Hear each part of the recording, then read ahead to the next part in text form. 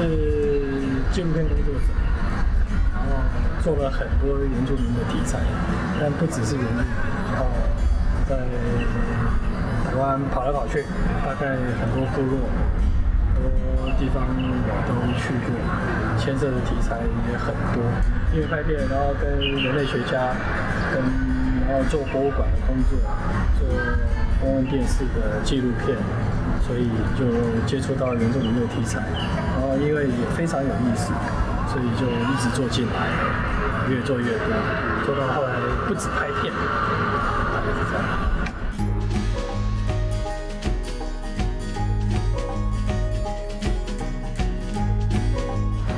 语言不同，如果你到他的部落的环境，到他们生活的领域，再加上我们语言这个要素的时候，你会发现你很像出国了，跟完全不同的文化背景。然后这是一个在台湾社会很清楚明白的现象，但是大家都不是那么的清楚。那我想这个原因除了庞大的文化以外，文化差异以外，它其实也来自于语言这个部分，因为语言牵涉了很大的观念跟思维。我们主要我们会认为说，好像他们是他他们对着原住民对着台湾独立社会的肆意，然后以至于我们认为他们跟我们一样，但其实是非常不一样。那我想这是在从事原住民工作里面要非常注意的。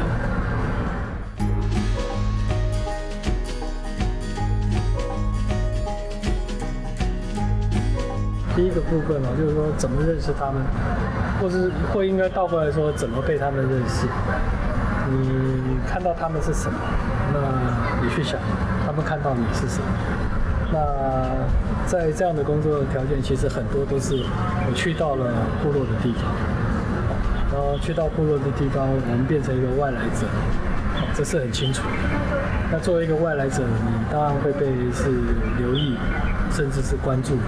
那我想在文化的差异，用最简单的例子来讲好了，大家有很多刻板印象，就是原住民的生活习性啦，喜欢喝酒，这都刻板印象。我强调它是刻板印象。他们甚至比如说族群爱吃槟榔，那但是如果你很严肃的去看它的时候，它其实有一些是文化上的礼节，你可以这样子看。那所以我在在这个谈的是互相认识的问题。我有一个到田野之后，我很快就开始意识到说，我很希望是我认识你们多少，里面我也希望你们能够认识我多少。那深层的，它会牵涉到主体的问题。那这个主体来自于双方，你是主体，哦，我是客体，那，我是主体，你是我的客体。我想这个是在原住民田野工作里面是需要非常有意识的去思考，也随着你面对的环境、面对的人、面对的文化，你要去把它想清楚的。谈到拍摄，啊，就就是说在原住民部落拍摄，那通常讲到拍摄，我们刚才谈到部拍摄的伦理。比较深刻的来说，你应该在拍摄之前，那要理解你为什么拍，你要拍什么。然后当然很多后面是我们说操作上面，呃，你是支配他的行为，或是安排他的文化，或者成为你的呃摄摄取的镜头，还是纯粹观察式去拍摄，这都跟牵涉到你自己在拍摄跟制作的呃风格上面有关系。我举一个我我自己所知道的，呃，应该是日本的导演小川。深界，他曾经说过一个，他拍片拍到拍摄纪录片拍到最愉悦的时候，是他发现被拍摄者充分理解他所作为的企图，他所作为的需求是什么，就是说他很乐意的在嗯 enjoy 的在这个被拍摄的情境里面。所以我大概只能这样来形容，就是说你能不能跟你的拍摄对象，你的拍摄的田野。能够在互动上，能够在互相对待上，产生到这样的彼此共鸣。啊，那我想，那那那讲起来有点抽象，但我想大家可以理解这个意思。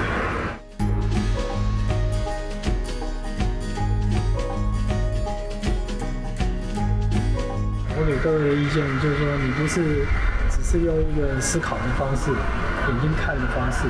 那我自己有一个经验给大家参考。我之所以会做成这个样子，就是我参与很多很多原住民的事物里面，或者跟他们一起工作的拍摄里面，我都我都会用我的身体一起去经历他们所从事的行为。就是说，如果他打鱼，我就跟着去打鱼。那你必须从这些日常里面去提炼，然后把你所感受的，把你所理解的，你还要经过一段消化的时间。不断的锤炼，你才有办法从里面找出你的，不管叫做符号，不管叫做美感，不管叫做什么样的整理。这这个我想是每一个进入部落田野工作的要有的一个基本的意识，或是一个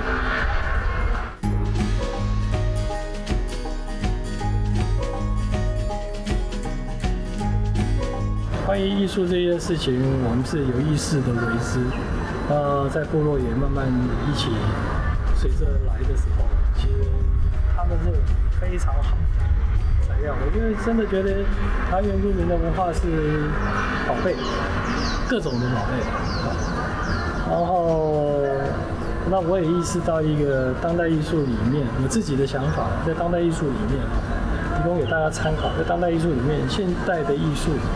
艺术创作也好，或是艺术产出也好，种种的，它来自于一个非常资本经济结构的状态底下，艺术家、艺术品都都深深的潜入在里面。但是这跟原住民原来社会文化里面的一些价值，其实是有很大的差异的。所以我自己有一些想法，是想把这样子的很核心的在。在历史进程里面，部落的这种发展，在艺术领域的这个发展，或者被艺术领域的这个发展，被转移、被传达的发展里面，我希望能够找回一个部落这种比较本质性，他们的创作与生产的逻辑里面。